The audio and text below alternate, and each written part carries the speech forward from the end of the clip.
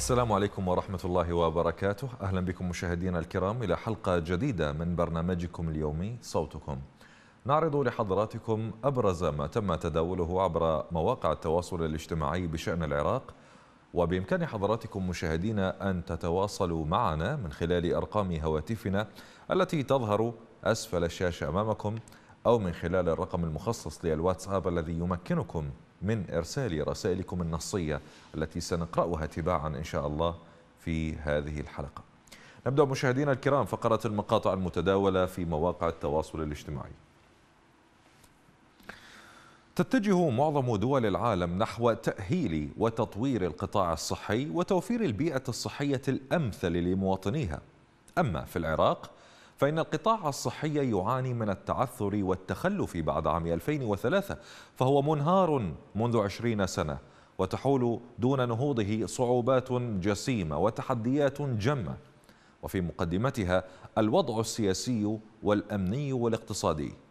كما تفاقم ذلك البنية التحتية المتهالكة لهذا القطاع الحيوي بسبب الفساد الكبير والإهمال الممنهج.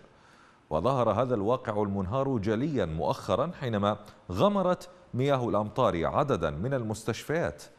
ففي محافظة البصرة بينت صور من هناك اجتياح الأمطار لباحة طوارئ مستشفى الجمهوري في المدينة في مشهد بات يتكرر كل عام دون أن تتخذ السلطات أي إجراءات لمنع تكرار هذا الأمر. دعونا نشاهد.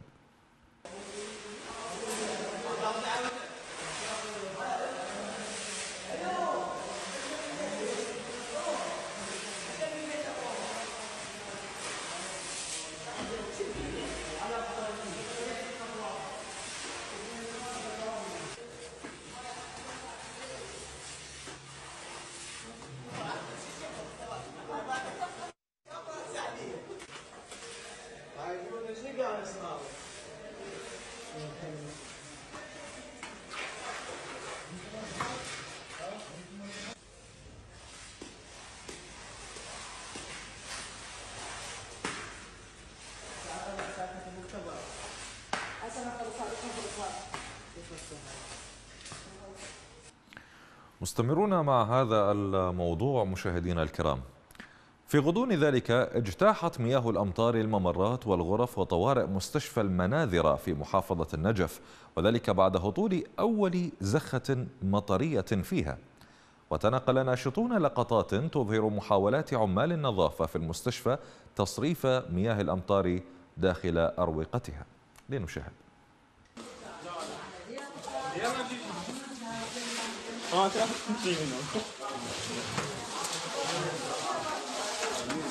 那那了那么啊一个音呢没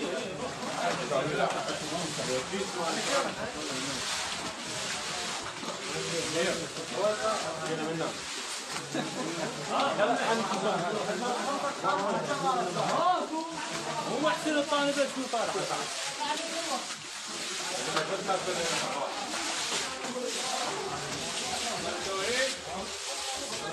مستشفى المناظرة. هذا الخاص عود. ويقبل للاسمي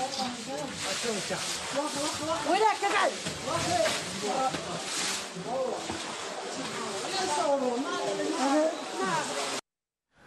نبقى مع هذا الموضوع مشاهدينا الكرام تواجه حكومات الاحتلال المتعاقبة بعد 2003 اتهامات بإهمال ملف الخدمات وعدم تطوير شبكات الصرف الصحي في بغداد والمحافظات. وذلك ما تسبب بغرق الشوارع مع أقل موجة أمطار والاكتفاء بتعطيل الدوام الرسمي دون اعتبار للخسائر المادية جراء هذا التعطيل المستمر للعمل والدراسة. ففي محافظة النجف غمرت مياه الأمطار المستشفى الألماني الذي لم يمضي أكثر من عامين على افتتاحه في مشهد آخر من مشاهد الإخفاق الحكومي. لنشاهد.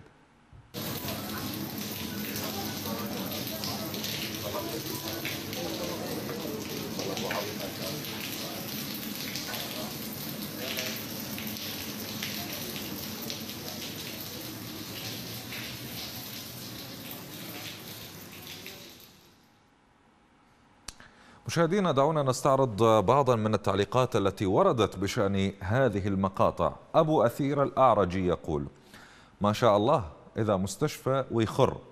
والله فضحتونا يا حكومة. والله عيب عليكم. بس مال سرقات وفساد ونهب. حسبنا الله ونعم الوكيل. تعليق من مروة تقول هاي تقنية جديدة بالمستشفيات تخليك تعيش الواقع. عيوني مطر داخل المستشفى. شو تريدون بعد؟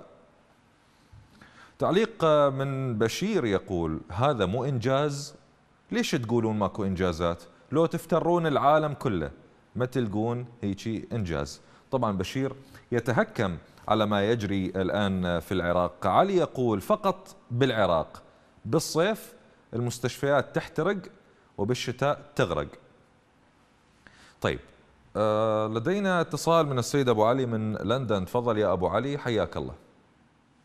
يلا السلام عليكم. وعليكم السلام ورحمة الله وبركاته.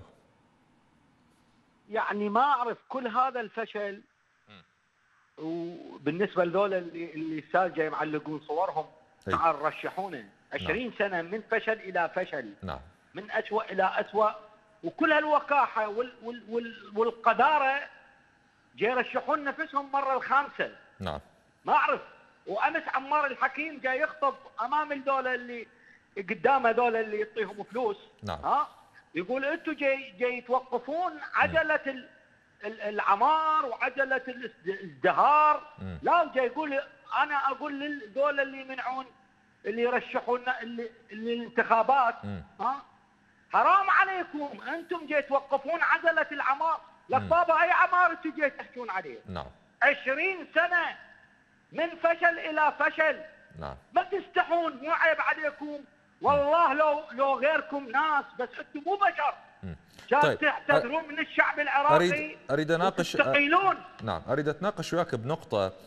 آه، طبعا تحدث الفيضانات في كثير من دول العالم المتقدمة المتطورة الدول اللي عندها بنية تحتية جيدة لتصريف مياه الأمطار تصير بها فيضانات نظرا لغزارة الأمطار أحيانا.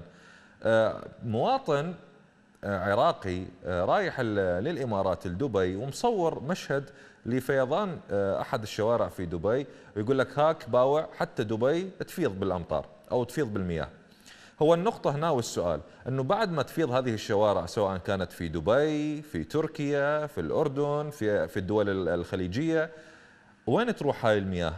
ألا يتم الاستفادة منها عن طريق تغذية البحيرات عن طريق تغذية الأنهار إحنا بالعراق هاي المياه تروح تتصرف إلى شط العرب وتروح تنتهي تختلط ويا ويا مياه البحر. ما عندنا آلية للاستفادة من هذه الخيرات آه هذه الأمطار اللي, اللي نستطيع أنه نغذي هاي الأنهار نسقي الزرع نحاول أن ننعش هذه الأرض اللي تصحرت. ليش ماكو آه استثمار لهذه المياه اللي هي رزق من رب العالمين وإنقاذ لوضع العراق المأساوي الآن؟ أستاذ محمد مو شغلة فيضانات. أستاذ مثل ما تفضلت أنت. هاي الدول العظمى هم يغر... هم يصير فيضانات. يصير مطر هم يصير كذا. نعم. بس المشكلة فاشلين من كل النواحي من كل الجوانب. يعني منين تلزمها؟ من الزراعة من الصناعة من التعليم من الطب فاشلين من كل الجوانب. عمي أنا أقول لكم أنتم إذا عندكم شرف إذا عندكم غيرة لك عم استقيلوا. خلصونا من من شركم. مهم. شن هالبلاء اللي اللي ابتلينا فيكم نعم. أنتم وعمائمكم ومراجعكم وميليشياتكم وأحزابكم ان كان سنية ان كان شيعية ان كان كردية ان كان عربيه نعم. إذا عندكم شرف استقيلوا. بس ما عندكم شرف أنتم شرف ما عندكم غيره ما عندكم شكرا. نعم. أشكرك سيد أبو علي من لندن. أقدر طبعا انفعالك وعصبيتك. آه، يعني دعوات كثيرة من العراقيين لمقاطعة هذه الانتخابات لمقاطعة هذه العملية السياسية لرفض هذه الأحزاب للمطالبة مثل ما تفضل أبو علي للمطالبة باستقالتهم شنو السبب اللي مصرين بعدهم بالتمسك في هذه المناصب آه، وهذه الأماكن اللي يديجنون منها هذه الأرباح وهذه الثروات اللي اللي صارت عن طريق هذه المناصب، ليش مستمرين؟ أنتم دا تسمعون الناس وده تشوفوهم بعينكم بالانتخابات يرفضون المشاركة. إذا هم يرفضون وجودكم يرفضون وجودكم داخل العملية السياسية.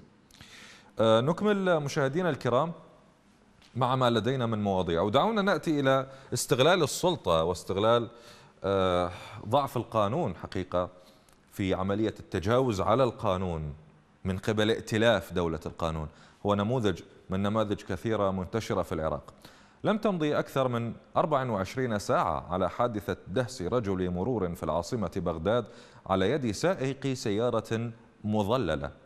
حتى توضحت معالم القضية والجهة التي يعمل فيها هذا السائق الذي انتهى به الأمر معتقلا خلف القضبان بسبب الضغط الشعبي وغضب الرأي العام.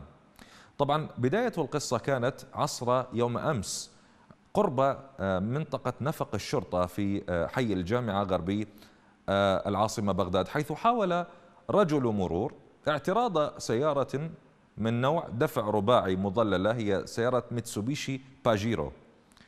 وحاول تحرير مخالفة بحق صاحبها. نتيجة حادث مروري بسيط أو حادث مروري بسيط. لكن سائق السيارة المظللة أبى أن يتوقف. وقام بدهس رجل المرور بسيارته. وكما قلنا هي من نوع متسوبيشي باجيرو. سنأتي لماذا أكدنا على هذا النوع فيما بعد. فر صاحب هذه السيارة بعد أن دهس الشرطي المرور هاربا إلى جهة مجهولة. دعونا نشاهد المقطع الذي تم تداوله بشكل واسع في العراق لعملية دهس شرطي مرور في بغداد.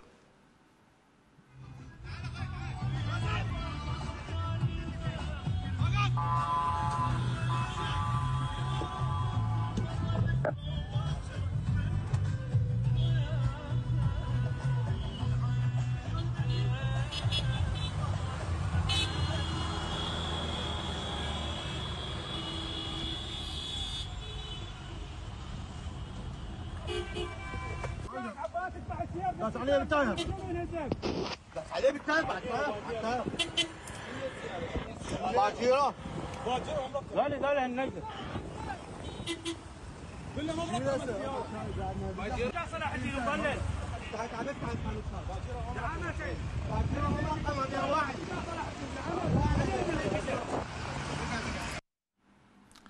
إلى الآن شاهدتم المقطع الذي تم تداوله يوم أمس بشكل واسع في مواقع التواصل الاجتماعي. هذا هو شرط المرور الذي تعرض آه، للدهس مع وزير الداخلية. طبعا آه، جرى اللقاء بعد آه، ساعات من هذه العملية بسبب الضجة التي أحدثها هذا الأمر في مواقع التواصل الاجتماعي. إذا لم تمضي سوى ساعات حتى قام سائق السيارة بتسليم نفسه إلى الشرطة. ليتم اعتقاله على خلفية اعتدائه على رجل المرور الذي نجا من موت محقق وفقا لمصادر صحفية.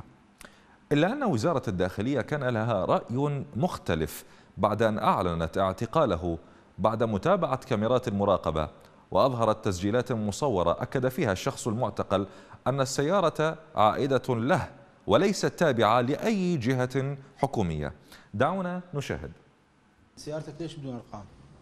بيها رقم مواصل بس خلفي ما في. ما بها أرقام ما بها أرقام ومظلله هي شخصيا مالتك شخصيه؟ إيه، نفسي. وليش سويت هذا؟ ضربته بالشارع شنو ضربته؟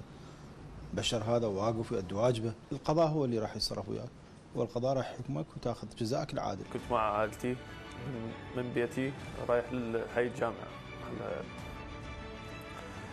كان عندي يعني شغل فصارت مشاجرة على نفق الشرطة مع أحد السيارات فاجأت بظهور المرور رجل المرور اللي كان متواجد بالتقاطع آه، يستوقفني.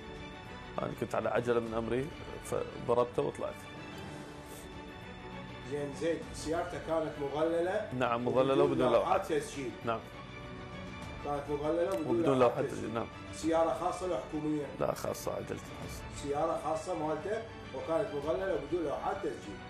وقمت بدهس رجل المرور وعفته وطلعت بالشارع. انتبهوا مشاهدينا الكرام على هذه الملامح وإن كانت قد تعرضت إلى التشويش يعني حفاظا على سرية التحقيق ربما أو ما إلى ذلك من هذه البيانات لكن الملامح تبدو إلى حد ما هي ملامح واضحة. رجل بشارب عريض وهو أصلع تمام؟ إذا إلى الآن هذه ملامح واضحة. دعونا نشاهد المقطع الآتي.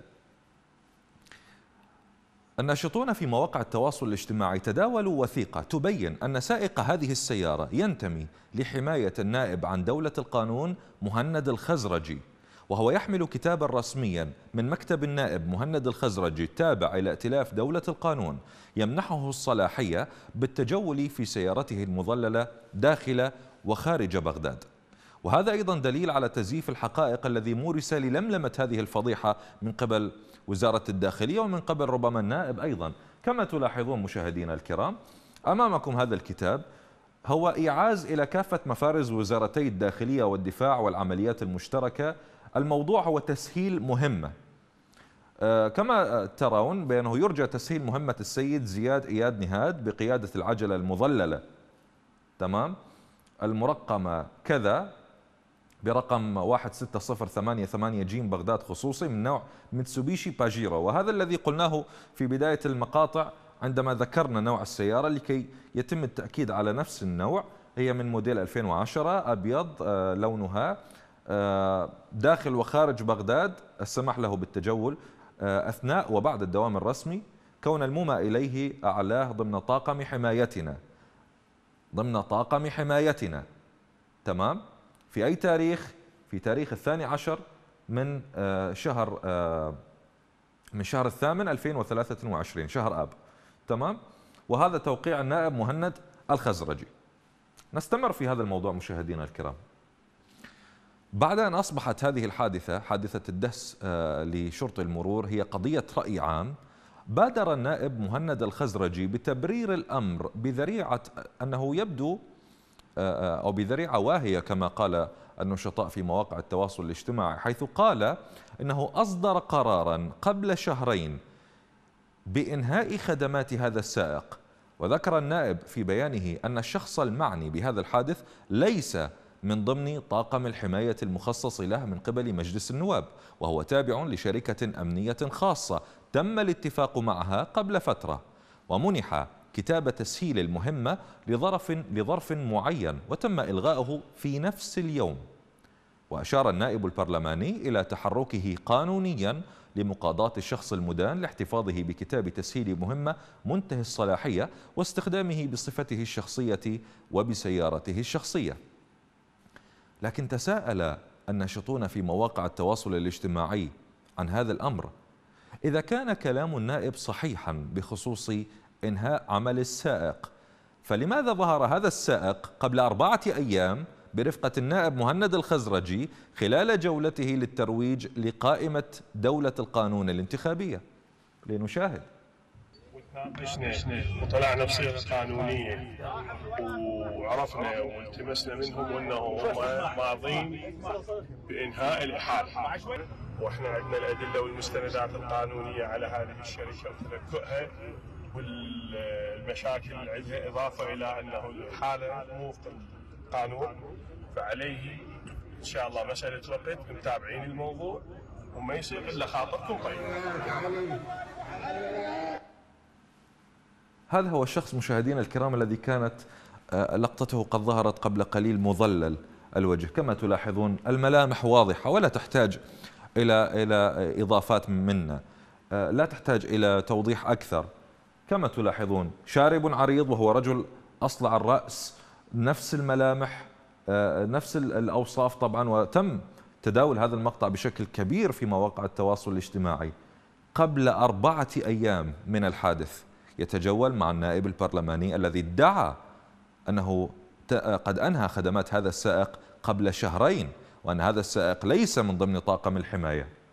نتابع آه، بعض التعليقات التي وردت بشأن هذا الموضوع. علاء الفهداوي يقول إذا بالحماية ومستهتر لو تصير بمنصب شو تسوي؟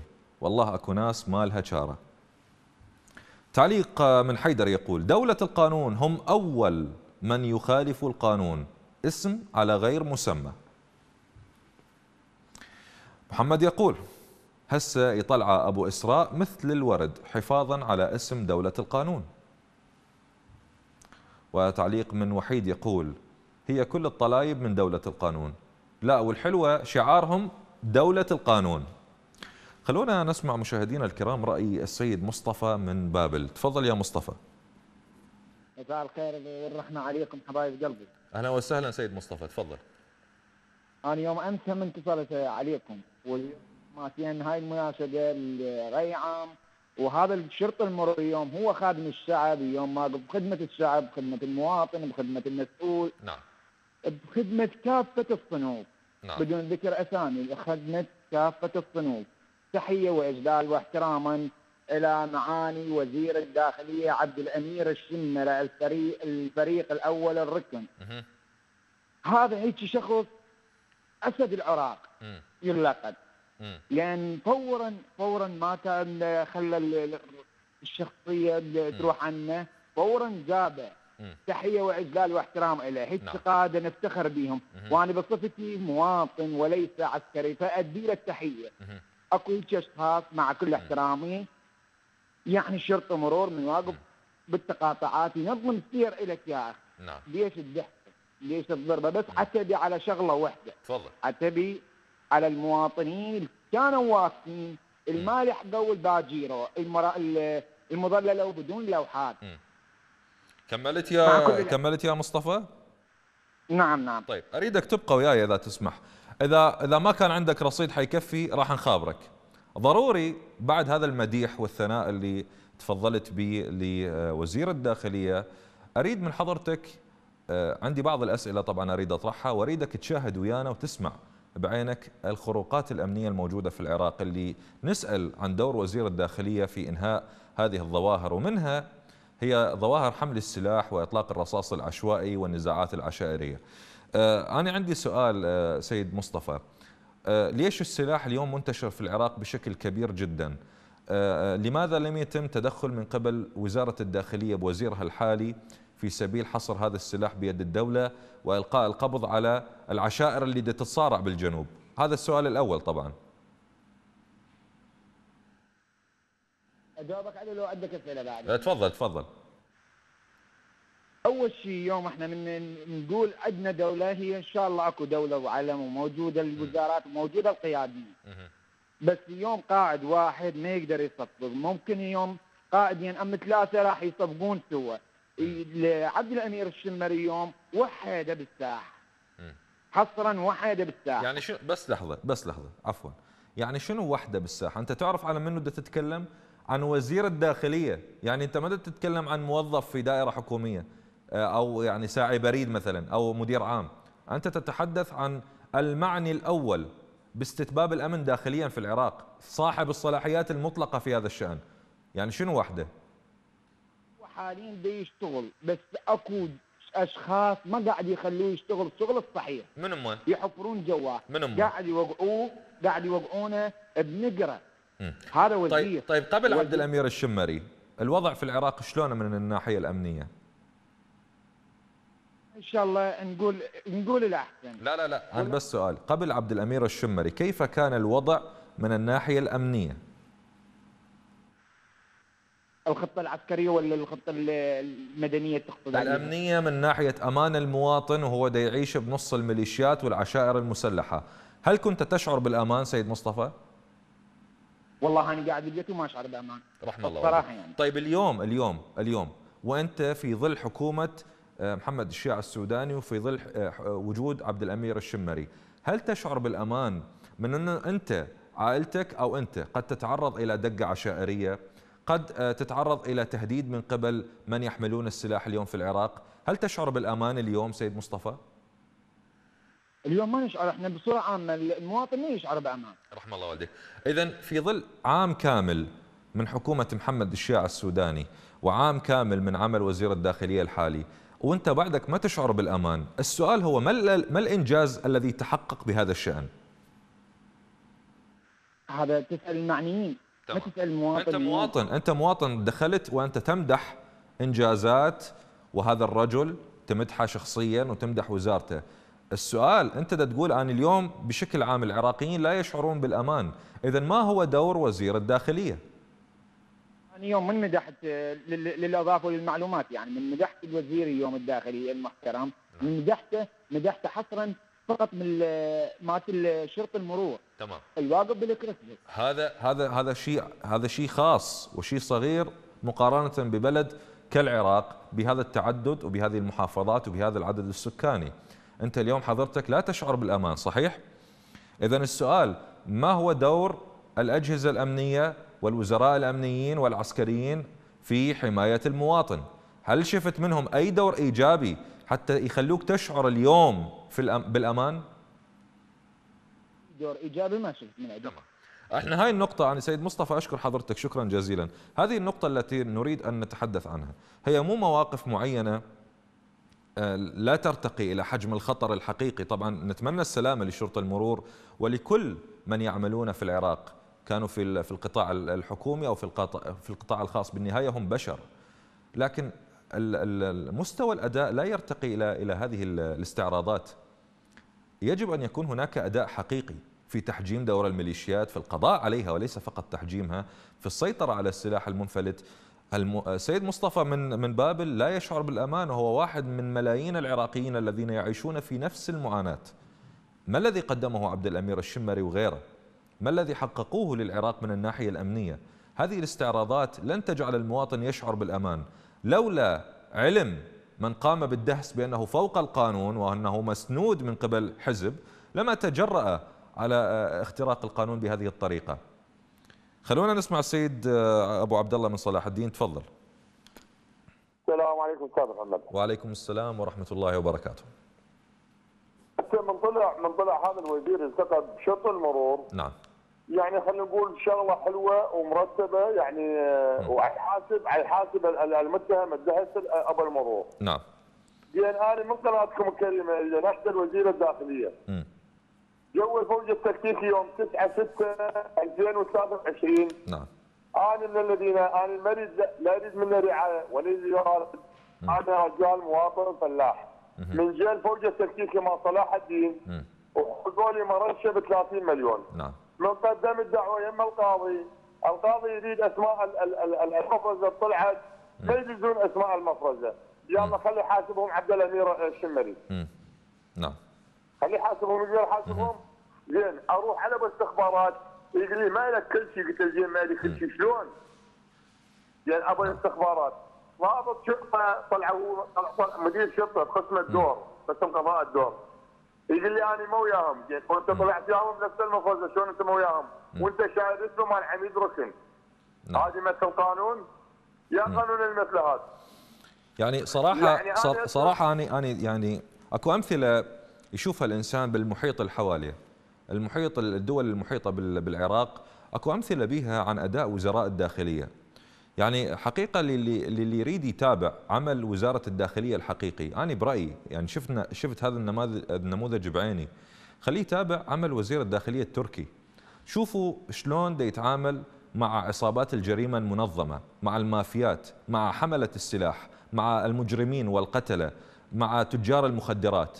حزم ما بعد حزم. روحوا شوفوا عمليات كنس لعشرات من من أو مئات ربما من المجرمين الموجودين في دولة ملاصقة للعراق حدوديا. هكذا يشعر المواطن بالأمان. بهكذا أسلوب وبهكذا نهج. وطبعا ليس ليس تجميل لكنها مهمة صعبة. يجب أن يكون من يعني من يتسنم هذا المنصب على قدر المسؤولية أن يتحملها وأن يؤدي الدور المطلوب منه أو المنوط به بالشكل الصحيح. وزارة الداخلية مو أطلع أنا بالإعلام آه، آه، أسوي استعراض وشو في سبيل أنه أنا عالجت آه، حالة تتكرر يوميا في العراق. لا. اكنس لي الميليشيات والمافيات الموجودة في العراق تجار المخدرات العصابات العشائر اللي تتقاتل بيناتها وهم يحملون سلاح متوسط وخفيف. هذا دور وزارة الداخلية. سيد سيد أبو عبد الله آه، آه، هل تعتقد بانه بأنه خلال السنة خلال السنة من أداء حكومة محمد الشيع السوداني وزير الداخلية آه، حققوا أي إنجاز من الناحية الأمنية للعراقيين؟ كل, كل إنجاز. كل إنجاز محقق. نعم. قلت لك أنا مواطن بسيط. أنا مواطن بسيط فلاح. نعم. وهذا وهذا وهذا شغلي أنا. لأن من يجي منتسب. يجي منتسب يسيء المواطن. لأن المنتسب من يحاسبه. نعم. أنا حاسبه المنتسب هو هذا لو, لو يجيني برا برا الدورية مالته وبرا الهيمنة مالته اتحداه يقدر يفك حلقة وياي. طيب. آه، شكرا سيد أبو عبد الله من صلاح الدين. أنا نشكر حضرتك للمشاركة ويانا السيد أبو علي من الديوانية. تفضل. ألو السلام عليكم. وعليكم السلام ورحمة الله وبركاته. نعمتين مجهولتين العافية والأمانة. لا هم اللي يندعون به للامان والدخل نعم. أبو علي. ألو؟ أبو علي داخلة الخطوط ألو؟ ألو؟ من وياي حاليا؟ أسمعك. تفضل يا أبو علي. أبو علي. تفضل. رحم الله والديك. والديك. وهاي حكومه 20 سنة صارت تحكم العراق نعم. القير ما أخذ واحد من حقه. نعم. بل اخذوا من حدة ما طوه نعم. أخذوا كانت الصحة مجانا. والتربية مجانا. والكهرباء والماء مجانا للمناطق النائيه هذني صار علينا ضامات كبيرة كثيره علينا. يعني إحنا ما أخذنا حقنا 1% رجعونا 10% لورا. اللي أخذ حقوقه بالعراق هم الأحزاب. لا سيد عمار يقول تتوقف عجلة الحياة. لا يا سيدنا تتوقف المشاريع مالتك والبناء ما تتوقف. إحنا متوقفه الحياة أنا من زمان. نعم بس وياك تتوقف المشاريع يا سيدنا. يا سيدنا طلعتوا كلكم كذابة. ما بيكم كل ثقة لا دولة لا الإطار ولا التيار. ما حققتوا لنا 1% بل سرقتوا كرامتنا أنتم كرامتنا ورجعتونا ما قل سردونا 1% الصناعه 1% جزاك الله خير شكرا أبو. علي من الديوانية. سريعا نأخذ محمد من أمريكا. تفضل يا محمد. ألو السلام عليكم أخوي أستاذ محمد. وعليكم السلام ورحمة الله. وحيي قناة الرافدين البطله حياك الله. عزيزي وين هو أكو أمان بالعراق؟ قسما بالله لا حد هذا الشرطي المرور ما سلم على روح روحه. نعم. قسما بالله هاي سووا دعايه للعالم حتى يقول لك حاسبنا فلان وعلان قسما بالله بس بس حيث بزونا ما يحاسبون. دول عاد الميليشيات تابع الارهاب الهالكي. العصابات الهالكي. نعم. دول ما حد يقدر يحكي وياهم. قسما بالله هم كلهم عصابات. من 2003 سووا بالعراق. لا زراعة لا صناعة لا صحة. انت شفت المستشفيات؟ تخرمي قسما بالله عندنا هنا المستشفيات في أمريكا. ما تكرم مال الشباب أشرف المستشفيات في العراق قسما بالله. عم دمروا العراق وما خلوا بي يا وزير الداخليه يا داخل حسين. عم كلهم عصابات قسما بالله. زاد عمار حشاك الجرو يطلع يحكي عمي هو أنت رجل دين تدعي نفسك. إذا دخل الرجل الدين بالسياسة حشاك انزربك بالسياسة وبالدين انزربك طيب مع انتهى تحفظ يا. محمد بس على كيفك. والله العظيم. يعني تمام. شكرا محمد شكرا جزيلا. بس أرجو بس آه، يعني تنتقل ألفاظ أكو ألفاظ تخرج أحيانا صراحة غير مناسبة وملائمة أن تطرح على الهواء آه، سيد محمد أقدر انفعالك طبعا بس آه، للمشاهدين الكرام أيضا بس اللي اللي يشعر بحالة من الانفعال بس إنه يحاول يسيطر على أعصابه شوية آه، عند التحدث على الهواء مباشرة لأنه دا يتوجه الكلام إلى عوائل إلى عراقيين في بيوتهم ومرد هاي الالفاظ ال- الخارجة. نكمل مشاهدينا الكرام وربما هذا الموضوع قد يرد على السيد مصطفى من باب الرغم أن مصطفى يعني آه، كان صريحا وواضحا وقال بأنه لا يشعر في آه، في بيته في العراق لكن هذا تأكيد على المؤكد. طبعا نأتي إلى ملف النزاعات العشائرية. تزداد هذه النزاعات المسلحة في جنوب العراق نتيجة ضعف الحكومة وانتشار السلاح بشكل كبير وسطوة الميليشيات فضلا عن تجارة بيع السلاح التي يديرها متنفذون في الميليشيات وفي العشائر. وتتصدر محافظات البصرة ذي قار ميسان وبغداد عدد النزاعات العشائرية التي تخلف ضحايا من المدنيين وتتسبب في قطع الطرق وتعطيل الأعمال إضافة إلى الخسائر المادية نتيجة استخدام الأسلحة المتوسطة والخفيفة. ففي محافظة البصرة اندلع نزاع عشائري في قضاء أبي الخصيب بين عشيرتين متنازعتين في وقت غابت فيه المظاهر الأمنية. دعونا نشاهد. ردوهم إيه إيه ولد عدنان إيه؟ إيه ولد عدنان؟ إيه ولد عدنان فوجوهم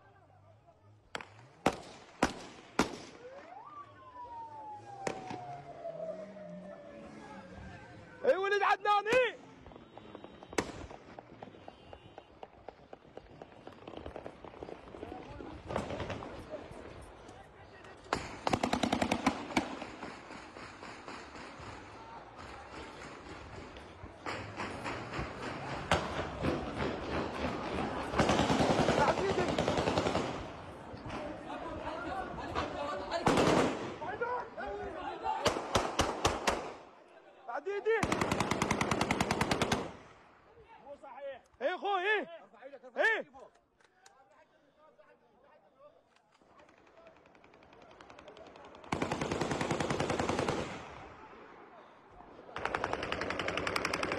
بعد أبوي.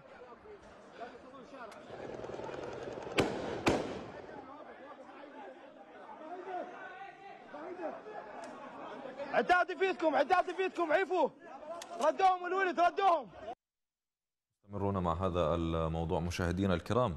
سبق أن أكد ضابط في قيادة عمليات البصرة أن العشائر تمتلك سلاحا لا يستهان به. يصل إلى السلاح المتوسط. كما أن أبناء الأجهزة الأمنية هم ذاتهم أبناء العشائر وهذا ما يمنع العنصر الأمني من تنفيذ واجباته والأوامر القضائية وتنفيذها بالشكل الصحيح وأن عددا من أفراد هذه العشائر ينتمون إلى جماعات مسلحة أو أجهزة أمنية يحتمون بها وينفذون عن طريقها أو عن طريق هذه الحماية النزاعات العشائرية. طبعا في هذا السياق قتل ثلاثة أشخاص إثر هجوم مسلح نفذه مجهولون في حي الأندلس بقضاء الزبير في محافظة البصرة. في وقت أكدت فيه مصادر محلية أن السبب يعود لثأر عشائري. لنشاهد.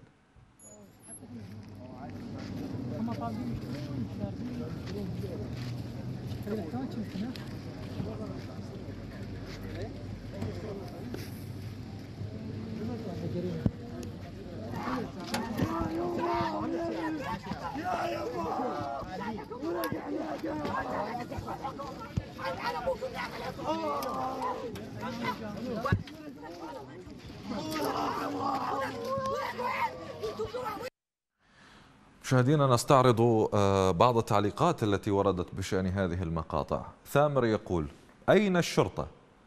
وين الأجهزة الأمنية؟ أين دور الحكومة؟ بهاء يقول للأسف شوفوا لي وين وصل بينا الحال. صارت الناس تقتل الناس أو ناس تقتل ناس والوضع خرج عن السيطرة والحكومة واقفة تتفرج. هو هذا عراق المستقبل؟ بالخير عليكم. وهذه النقطة اللي تتعلق بالحكومة سترونها في كل تعليق مشاهدينا الكرام. وهو السؤال الذي يوجه ما هو دور وزير الداخلية. مروان يقول عند غياب القانون وضعف الدول تأكدوا أن الفوضى حية لم تمت. لدينا تعليق من حسين يقول فرض القانون يحد من تكرار مثل, مثل هذه الحالات الدخيلة على المجتمع. ننتقل مشاهدينا إلى موضوع آخر لدينا في هذه الحلقة. حين بدأت السلطات الحكومية بتشييد المجمعات السكنية قبل أعوام عدة كان الهدف المعلن هو حل أزمة السكن. لكن مع تزايد أعداد المشاريع السكنية التي تروج دعايتها لحياة من الرفاهية في قلب العاصمة بغداد تتصاعد الأصوات المنادية بالتشديد في منح الرخص الاستثمارية والأراضي المميزة والرقابة على الأسعار الخيالية التي تباع بها الوحدات السكنية. وكان المواطن من أصحاب أو المواطنين من أصحاب الدخل المحدود أو الدخل الضعيف والمتوسط كذلك كانوا ضحية لهذه الإعلانات بعد أن صدقها بعض المواطنين وأخذوا القروض لشراء الوحدات السكنية والتقسيط باقي المبلغ على سنوات طويلة قبل أن يصطدموا بالشركات الإنشائية ووحداتها السكنية التي تعاني من مشاكل جمة فضلا عن التأخر في مواعيد التسليم بسبب غياب الرقابة الحكومية. بعد أن تبين عائدية الكثير من هذه الشركات الاستثمارية لأحزاب ومكاتب اقتصادية تابعة للعملية السياسية أو لأحزاب العملية السياسية ومتنفذة. دعونا نستمع لشهادة أصحاب الشقق في مجمع أبراج العطيفية السكني بشأن ما حدث معهم. أبراج العطيفية السكني. أغلب عقودنا انتهت قبل سنه سنة ونص وسنتين من موعد التسليم. والمستثمر كل مره يسوي لنا اجتماع من شهرين يعطينا موعد شهرين وثلاثة. هاي صار أكثر من سنتين وهسه اجى نفس الحالة لا عنده موعد تسليم ولا يعرف إيش وقت يسلمنا. ويذيب دائما المشاكل برأس وزارة الكهرباء يقول وزارة الكهرباء ما تعطيني كهرباء. بالإضافة للكهرباء عنده هواي مشاكل. زين مرحلة التسليم والتسكين. من الجراج من النقص بالعمارات. حتى التغليف ماكو. نهاية. ونطالب إحنا الجهات المسؤولة ورئيس الوزراء بالخصوص لأن هو طلع وتكلم وقال إنه أنا راح أتابع المشاريع الاستثمارية والتلف نطالب رئيس الوزراء. بحل هاي القضية والتدخل شخصيا فورا من عنده. نستمر مع هذا الملف مشاهدينا الكرام وننتقل إلى مقطع آخر حيث صار ملايين العراقيين يحلمون بسكن لائق يليق بالكرامة الإنسانية. بينما ترتفع أسعار العقارات بشكل جنوني يفوق قدرة المواطن العراقي وذلك بسبب عملية غسيل الأموال من قبل جهات وأحزاب متنفذة عن طريق شراء الأراضي والعقارات.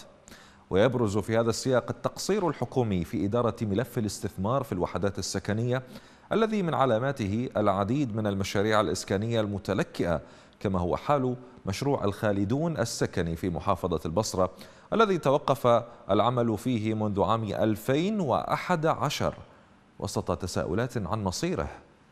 لنشاهد. داخل المجمع مجمع الخالدون. شوف والله مو حرامات هذا المجمع. هيك متروك. شوف. 1400 بيت. صار لهن 14 سنة متروكات. شوف هاي مدرسة. مدرسة كاملة متروكة. البيوت شوف شوف البناء شلونه بيوت طابقين كاملات. راح ياكلهن التراب والمطر. وأهاليتين قسم قاعدين بجار وقسم قاعدين بالحواسم. يعني مع الأسف. نستعرض تعليقات مشاهدينا الكرام التي وردت بشأن هذا هذه المقاطع. علي يقول وأكو مجمع همين في حي الجامعة في محافظة البصرة العمل واقف منذ زمن بعيد. تعليق لدينا من أبو حسن يقول أين محافظة البصرة من هذه المشاريع المتوقفة منذ سنين؟ أعتقد القضية متعمدة وكل الأسئلة تجدونها عند أعلى سلطة في محافظة البصرة. عبد الزهرة يقول هذا المجمع السكني شاخص منذ أكثر من عشر سنوات فقط كهيكل ولا ندري ما هو السبب والمبرر سوى الإهمال وانعدام المسؤولية والمحاسبة وهدر المال العام وعدم الاهتمام بالمواطنين وصراع الأحزاب الفاسدة فيما بينها على المكاسب على حساب مضرة الشعب وتعاسته. أبو محمد يقول أكو نفس المجمع موجود في حي الجامعة قريب على ساحة سعد في البصرة. هذا أيضا تأكيد هذا ثاني تعليق يؤكد هذه المعلومة. ننتقل مشاهدينا الكرام إلى فقرة إنفوغرافيك يحتفي العالم باليوم العالمي للطفل الذي يوافق العشرين من تشرين الثاني من كل عام وذلك بناء على توصية من الجمعية العامة للأمم المتحدة في عام 54 ليكون هذا اليوم هو يوم هو يوم للتآخي والتفاهم بين أطفال العالم أجمع وللعمل من أجل مكافحة العنف ضد الأطفال وإهمالهم. طبعا تستثمر المنظمات الدولية والمحلية هذه المناسبة للتذكير بالواقع المؤلم الذي يعيشه الطفل العراقي الذي يفتقر إلى أبسط الحقوق. المزيد من التفاصيل في سياق الانفوغرافيك الذي أعده قسم التواصل الاجتماعي في قناة الرافدين الفضائية.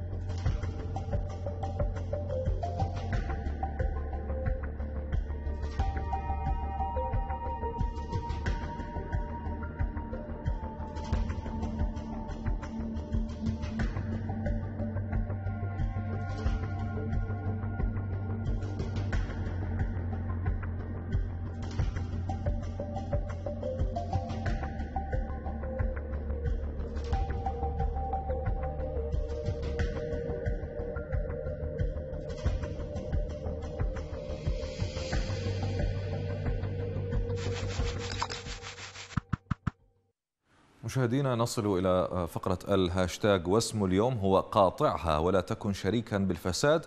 هذا الوسم الذي تصدر منصة إكس آه، والذي يدعو إلى مقاطعة انتخابات مجالس المحافظات في العراق. آه، عبد الله يقول يعيش العراق وسط قتلة كثر ووسط لا مهنية. والمهم كل المهم أن يكون لي كرسي على جماجم المصلحة العامة وأن تكون الكروش بمصلحة خاصة. ولو مات العلم وعاش ولو مات العلم وعاش الجهل سالما منعما في بلد يعيش على خليج وبحيرات نفط وخيرات لا تعد ولا تحصى. عمار يقول ندعو أبناء شعبنا من كل المناطق والمكونات إلى مقاطعة العملية الانتخابية الهزيلة القادمة. أو الهزلية القادمة وذلك من أجل الحفاظ على سيادة البلد وحمايته من الأخطار وعدم تمكينهم مرة أخرى من ممارسة الفساد وغمط حقوق الشعب المنهوب. أثير يقول يناقضون أنفسهم بترديدهم لشعار من يمتلك السلطة والمال والسلاح هو الذي يفوز في الانتخابات وفي هذا إقرار أن الفساد هو محور العملية الانتخابية برمتها. أفنان تقول مقاطعة الانتخابات تقلل من شرعيتها دوليا وداخليا وتقلص من هيمنة الفاسدين والتبعيين على عراقنا. بهذا مشاهدينا الكرام أصل وإياكم إلى ختام حلقتنا لهذا اليوم. شكرا لكم لطيب المتابعة وإلى اللقاء.